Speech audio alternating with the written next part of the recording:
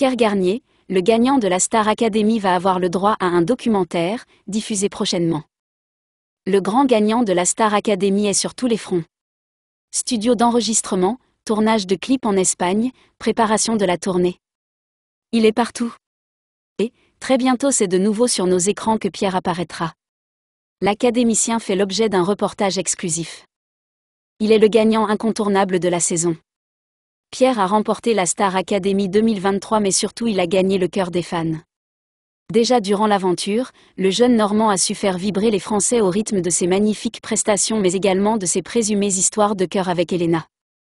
De quoi le rendre encore plus attachant aux yeux du public qui n'a pas prévu de le lâcher de sitôt. Si Pierre pensait que l'aventure Star Academy les faisait vivre à mille à l'heure, ce n'était rien à côté de la sortie. Le chouchou des téléspectateurs n'arrête pas, quitte à ne plus en voir sa famille.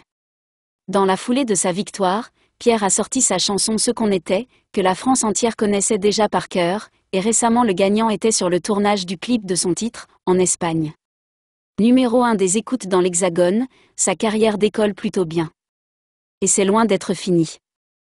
Pierre, Star Academy, va avoir le droit à son propre documentaire. Le grand gagnant de la Star Academy 2023 n'a pas fini d'être sur tous les écrans. Alors qu'il vient déjà de tourner sur tous les plateaux de télévision, Pierre va avoir le droit à son propre documentaire. Rien que ça. C'est Star qui a annoncé la nouvelle sur son compte X, ce mardi 20 février.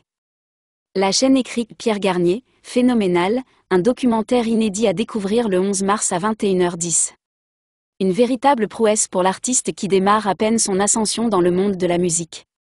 Star ajoute son petit teaser, de ses origines à Villedieu-les-Poils à son parcours dans la Star AC en passant par sa vie d'étudiant à Caen, découvrez qui est vraiment Pierre Garnier.